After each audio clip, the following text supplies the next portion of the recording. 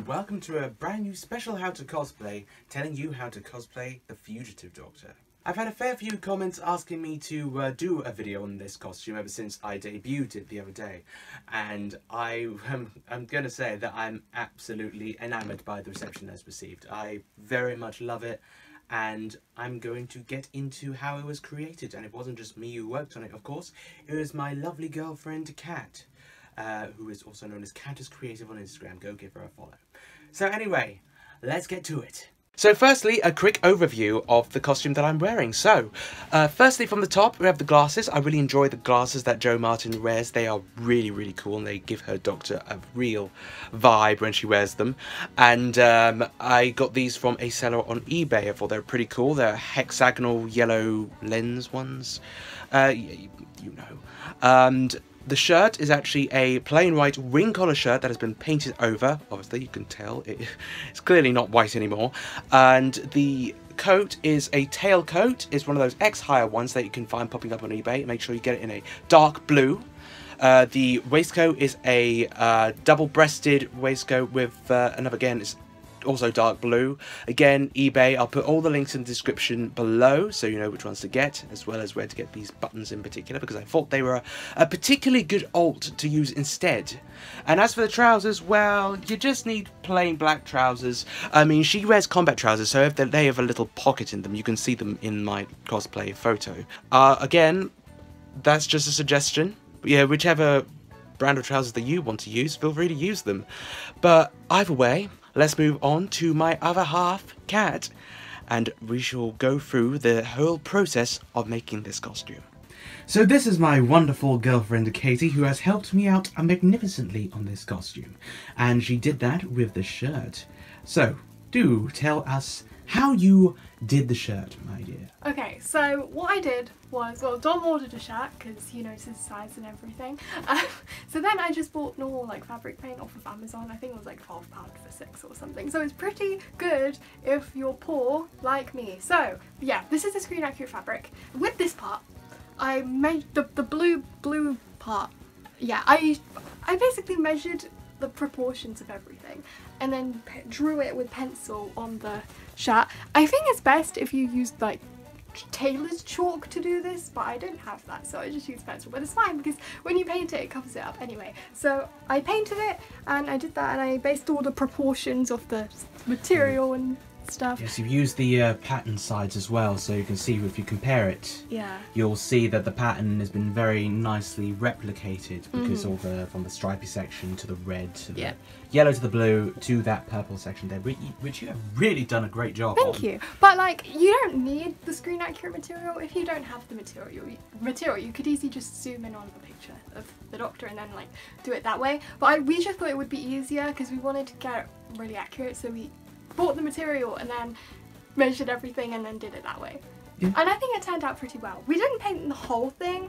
I only painted the parts which are visible, obviously, because there's no point in painting this part because you're not going to see it anyway. And I, I don't know if you can see, but I also did the cuffs.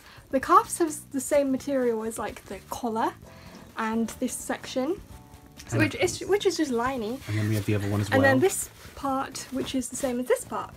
Um, but keep in mind, this is like a pinky colour. I don't know if it translates well, but it, it looks very good in lighting. But most fabric paints don't come in that colour, so I had to like mix the red and the white and the bit of purple and blue. It, it was a process, um, so keep that in mind if you're going to do the same thing. So moving on, we have the waistcoat of the outfit that uh, Katie has sewed on the buttons. Do tell us your process for that. Okay, well Dom got this waistcoat on eBay and it used to just have three buttons but I replaced all the buttons with these. They're these like, what, how would you describe those?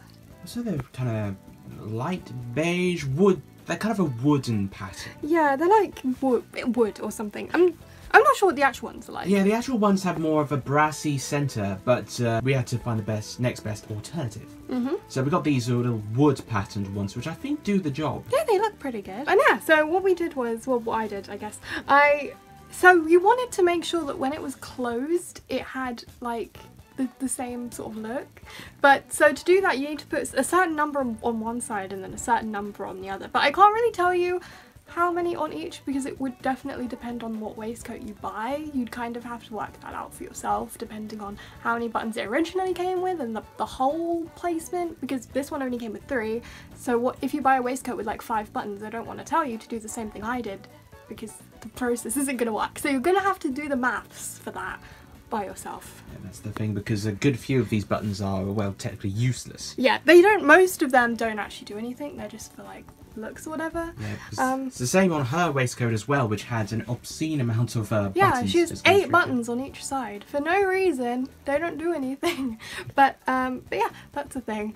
Um, so yeah, you're gonna have to work that out for yourself. But make sure to when you're sewing them, sew it while it's closed. I think because then you'll know. Because I actually made a mistake first. I did h- eight on one side and eight on the other, and I wasn't thinking like what would it look like when it was closed. So then once I closed it, I was like, oh, this doesn't look right. So I had to like move a few of the buttons to the other side so it would look good. Um, yeah. So that that yeah. Oh, also make sure it's blue because hers is blue. I know it looks grey in some lights of the show, but it's definitely blue. So now we move on to the coat. And for this one, I picked up, I was a very lucky find for this one because I picked up a sort of Victorian tailcoat on eBay. And that was the one I deemed kind of best fitting to uh, what Jo Martin actually wore. I mean, still not quite close when it comes to the lapels, but I don't have the money to get it custom made. It looks good though. Yeah, I think it does the job really well. So, Kat, tell, take us through your process. Okay, well before I start the process, make sure to get a tailcoat because hers is like a, it like curves kind of, and that's exactly what this does. And so you don't want to just get like a, a frock coat like 12s because hers isn't that. I feel like, yeah, I feel like it's a very unique shape. So make sure you get the right kind of coat or otherwise it won't have the same vibe. But anyway, so this was a lot easier than the waistcoat because this only has like, I don't know, I think it's like 7 on 1 or something. It has a lot less buttons than the waistcoat. I believe it has six. Six. I don't know. Well, I have one less button here just because his coat isn't long enough, I guess. It, it's, it's, it's complicated, but you'll see what I mean when you wear it. But basically, um, yeah, she has, it's weird because this coat has one button on one side and then loads on the other. But one side only has one button. So, yeah. Science. I don't know why.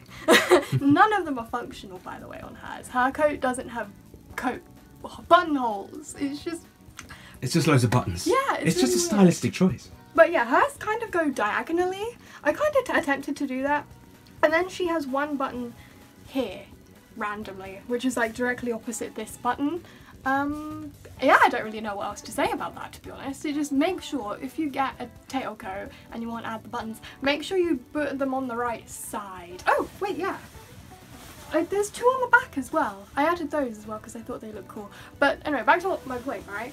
Make sure you put this side on, like, this side is on the side with the red, and then this side is on the side of the yellow, I think. Yeah. Just make sure you put the buttons on the right side, because I had to double check like 50 million times. Well, you've done a fantastic job on the entire outfit all the same, though. And I thank you very much. Thank! I also know that Cosdaddy are doing their own version of the Ruth Doctor outfit as well, so uh, feel free to give that a look when it comes out. I've seen a sneak peek of it thanks to a friend, and I must say it is looking pretty good. So no doubt you'll see that plastered over social media when it eventually comes out. It's still in the pre-sales at the moment, but uh, we'll see how it goes. For added tips and tricks in terms of doing a closet cosplay of the outfit or just using a different method of clothing if you don't want to sew or you don't want to paint or anything like that, then feel free to check out Redheaded Chinny aka Vlogsy's version of uh, the How to Cosplay the Fugitive Doctor and that might also have some tips and tricks that will benefit you, so feel free to give that a look. Also, shoes. I forgot to mention them originally, don't tell anybody. But Jo Martin wears uh, black Doc Martin shoes, just like Peter Capaldi did in his tenure as the 12th Doctor. So if you have any uh, for your 12th Doctor cosplay, just wear them as well. If you don't, then just get any black boots, really. I'm very lax when it comes to shoes. Uh, style and comfort. Well, that was our little tutorial on how to cosplay the Fugitive Doctor. Hope you enjoyed that and I hope it helps you towards any cosplay of her that you are planning to put together, if you are so well that inclined. As always, feel free to like, comment and subscribe as most YouTubers say. But yeah, if you like the cosplay content that's being put out, feel free to hang around because next week I'll be talking about the 12th Doctor. So, until then, see ya!